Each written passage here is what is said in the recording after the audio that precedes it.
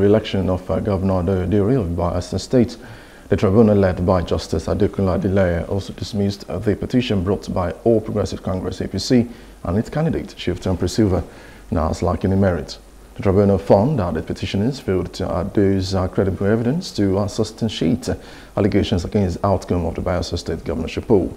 It dismissed the allegation that Deputy Governor Lawrence tendered forged university degree certificate and NYSC exemption certificate to the Independent National Electoral Commission in aid of his uh, qualification to contest the election.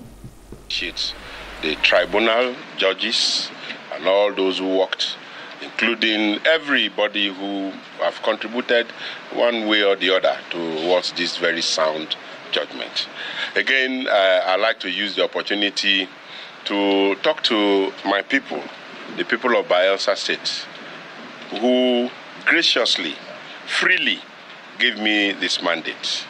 So it is actually not my victory. It is the victory of the people of Bayelsa State.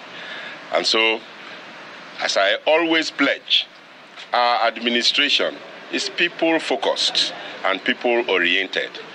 So this will again give us uh, a better uh, latitude to continue to deliver the dividends of democracy to our people. Uh, you know that matters like these are distractions, uh, particularly against the backdrop that you had an election that was adjudged to be one of the freest and the fairest, and yet you have been distracted over this uh, period.